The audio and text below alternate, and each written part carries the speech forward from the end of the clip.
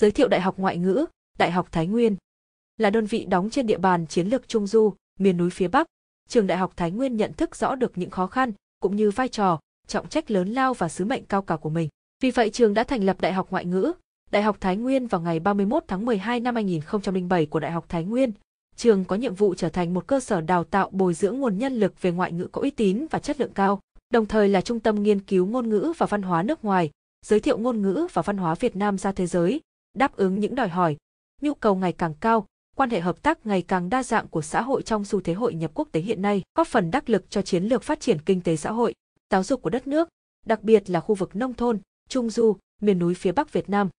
Là cơ sở giáo dục đại học, Đại học Ngoại ngữ có sứ mệnh cung cấp nguồn nhân lực ngoại ngữ đáp ứng nhu cầu cấp bách của xã hội trong xu thế hội nhập quốc tế hiện nay, phục vụ đắc lực cho chiến lược phát triển kinh tế xã hội của đất nước, đặc biệt là khu vực Trung Du, miền núi phía Bắc. Đồng thời, thông qua hoạt động nghiên cứu ngôn ngữ và văn hóa nước ngoài, khoa còn có sứ mệnh quảng bá ngôn ngữ và văn hóa Việt Nam ra thế giới, nâng cao sự hiểu biết lẫn nhau giữa các dân tộc, xây dựng hình ảnh tốt đẹp của Việt Nam trong cộng đồng quốc tế, qua đó củng cố và phát triển hơn nữa mối quan hệ hợp tác hữu nghị giữa Việt Nam và các nước trên thế giới. Đại học Ngoại ngữ, Đại học Thái Nguyên có tầm nhìn đến năm 2030, trường đạt chuẩn đại học quốc gia về đa dạng hóa các loại hình, các chương trình đào tạo, từng bước nâng cao chất lượng đào tạo nhằm đáp ứng nhu cầu ngày càng cao của xã hội về nguồn nhân lực có trình độ ngoại ngữ, tăng cường mở rộng quy mô và nâng cao chất lượng hợp tác quốc tế trong lĩnh vực đào tạo, nghiên cứu khoa học.